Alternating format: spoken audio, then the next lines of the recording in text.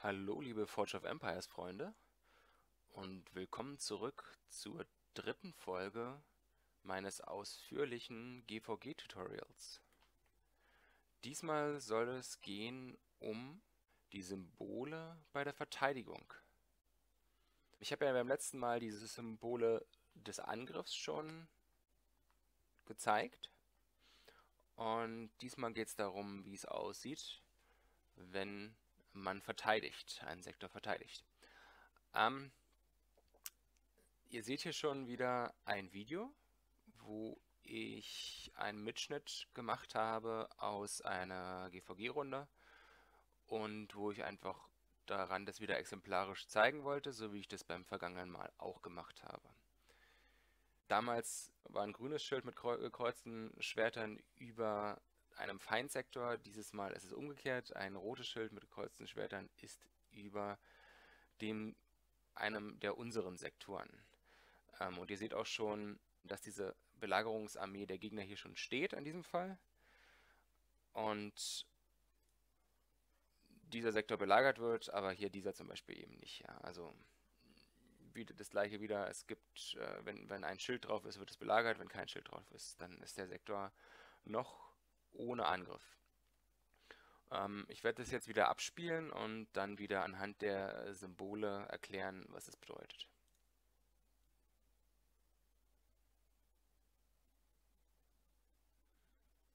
Ja. Noch zu, natürlich zu verteidigen. So, stopp. Weil es eben ein Live-Mitschnitt ist. Und hier sehen wir wieder die Symbole. Und im Prinzip sind die jetzt eigentlich spiegelbildlich zu dem, was wir beim letzten Mal gesehen haben. Beim letzten Mal hatten wir grüne Schilde und rote gekreuzte Schwerter. Und dieses Mal ist es umgekehrt. Die grün gekreuzten Schwerter sind jetzt in diesem Fall unsere Verteidigungsaktion gegen die Belagerungsarmee. Also die feindliche Belagerungsarmee ist, ist gestellt und wir müssen jetzt in diesem Fall 10 belagernde Einheiten vernichten, um diese Belagerungsarmee zu, von dem Sektor runterzubekommen. Wenn ihr hier genau hinguckt, seht ihr, dass hier schon drei grüne Schwerter geflogen sind, aber auch vier rote Schilde. Das heißt, wir haben dreimal die Belagerungsarmee angeschlagen und der Gegner hat vier von unseren Verteidigungsarmeen angeschlagen. Also jetzt nur in diesem Bild, da kann natürlich schon viel mehr passiert sein in dem Moment, wo, wo hier schon ähm, die Overlays drüber waren. Ähm, wir versuchen es jetzt zu verteidigen. Wie gesagt, die grün gekreuzten Schwerter, die können Verteidigung von uns sein, müssen es aber nicht. Also es kann durchaus sein, dass hier eine der benachbarten Gilden der anderen Nachbarn mit draufhaut und diese Belagerungsarmee anschlägt. Das würde hier auch als grüne gekreuzte Schilder erscheinen. Das gleiche kann für externe Gilden sein, weil es handelt sich hier um einen Strandsektor. Ihr seht den gelben Untergrund im Vergleich hier zu diesem grünen Untergrund ist also ein Strandsektor. Und äh, Gilden, die nicht auf der ASA-Karte vertreten sind, können also hier einfach mit draufhauen. Das würde hier in diesem, diesem hochfloppenden ähm, ja, Symbolen genauso als grünes, grüne gekreuzte Schwerter an, äh, angezeigt werden wie unsere Verteidigungsaktion. Also da seht ihr keinen Unterschied. Ihr seht es dann nur im Log, im Ereignisprotokoll. Ihr seht hier nämlich im Ereignisprotokoll gerade, dass wir äh, Belagerungs-, also feindliche Belagerungsarmeen bereits vernichten. Und zwar, das müsste hier der Sektor 2671 sein. 2671. Und wenn jetzt hier eine andere benachbarte Gilde auch mit verteidigen würde, dann würde man hier auch sehen, dass die Nachbarn mit im Ereignisprotokoll auftauchen, die hier auch mit draufhauen und diese Verteidigung mit unterstützen. Und wenn eine Gilde von extern mit draufhauen würde, dann würde es hier wieder dieses graue Symbol sein und unbekannte Gilde diese feindliche Belagerungsarmee mit vernichten.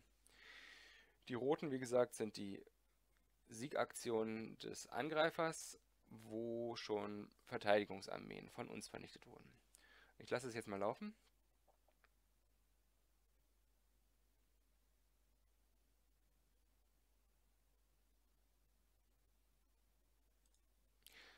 Ihr seht, dass Schild ist runter und der Sektor ist somit erstmal verteidigt.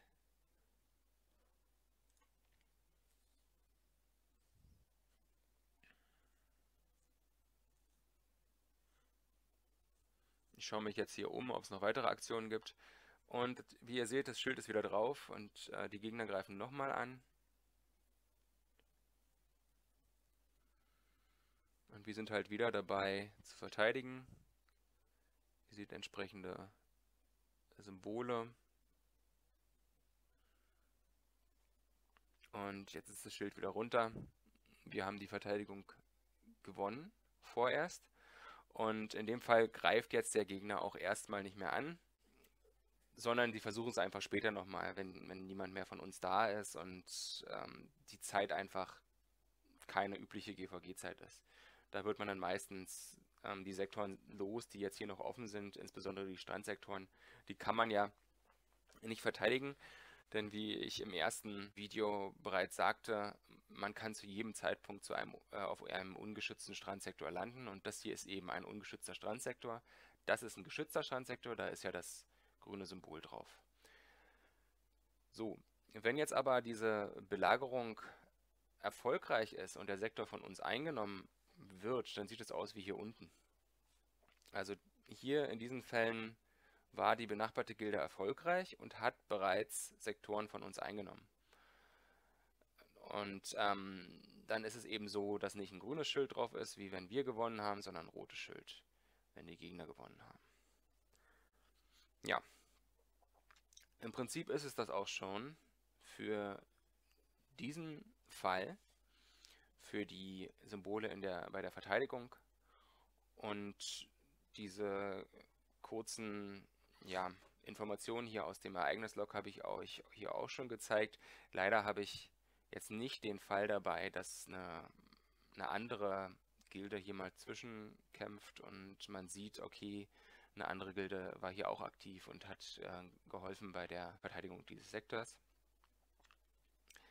Vielleicht kriege ich das noch irgendwie mal an, eingefangen in einem anderen Video, aber dieses Mal ist es noch nicht der Fall. Aber das ist es schon zu, der, zu den Symbolen bei der Verteidigung. Und beim nächsten Mal will ich euch zeigen, wie es ist bei Symbolen von fremden Sektoren. Also nicht die eigene Gilde greift einen anderen Sektor an, sondern eine fremde Gilde greift eine andere fremde Gilde an. Und wie sieht es dann aus? Gut, dann danke ich euch fürs Zuhören und fürs Zuschauen. Und sollte euch das Video gefallen haben, gebt mir gerne einen Daumen nach oben. Sollte euch noch mehr zum GVG interessieren, abonniert gerne den Kanal.